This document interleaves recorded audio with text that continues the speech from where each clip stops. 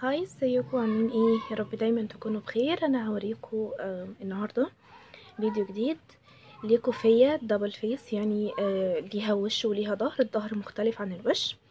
هتقولوا لي إزاي في الغالب لما بنيجي نشتغل حاجة مسطحة بيبقى وشها زي ظهرها بالظبط. بس دي مختلفة بحكم الغرزة اللي أنا اشتغلت بيها. كلنا عارفين الغرزة اللي هي آه plissé اللي أنا بشتغل غرزة الحشو بس على نص السلسلة اللي ورا. بتبقى آه حشو على نص السلسلة اللي هي ال back loop وبفضل شغالة كده لحد الآخر بتديني غرزة ال plissé وعارفين غرزة تانية اللي هي العمود بلفة برضو على ال back loop بتديني غرزة زي الأكورديون كده دور طالع ودور نازل. فدي غرزة ودي غرزة. فأنا حطيت الغرزتين في بعض عملت دور ودور. فطلع لي وش ده شكل الغرزة ومطلع لي ظهر. ده شكل تاني للغرزة المفروض إن ده وده. أنا حطاهم الاتنين جنب بعض أنا لفة الكوفية اهي. ده كده وش وده وش تاني.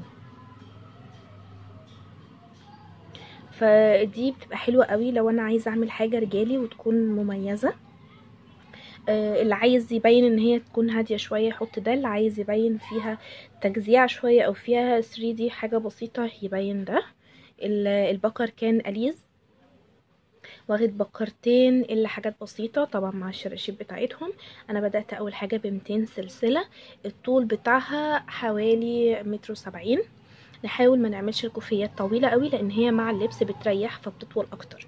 فنحاول إن إحنا لو حد طالب مننا ميتين ما نعملهاش 200 بالظبط نحاول نعملها 180 أو 170 وهي مع اللبس والشد بتاعها هي هتبدأ تريح. هقول لكم سريعا الغرزه إزاي. أنا بدأت أول حاجة ب 200 سلسلة اشتغلت أول دور اشتغلته حشو بعدين عمود وبعدين حشو وبعدين عمود وبعدين حشو بس اشتغل بشتغل في الحشو والعمود على نص السلسلة اللي ورا فإداني وش وظهر للغرزة. إداني الوش ده وده ظهر أو ده الظهر وده الوش مش مشكلة. أهم حاجة زي ما بدأنا بالحشو ننهي بالحشو كشكل جمالي بس مش أكتر. أنا الموضوع مش مستاهل إن أنا أبدأ الكوفية من أول للآخر من أول السلاسل والحشو والعمود بلفة لأن طبعا أنتوا يعني أكبر من كده بكتير. يعني أنتوا بروفيشنال أكتر من إن أنا أبدأ معاكم الكوفية من أولها. بس أنا عملت حاجة مختلفة فكنت حابة إن أنا أشارككم بيها. واستنوني في الفيديوهات الجاية.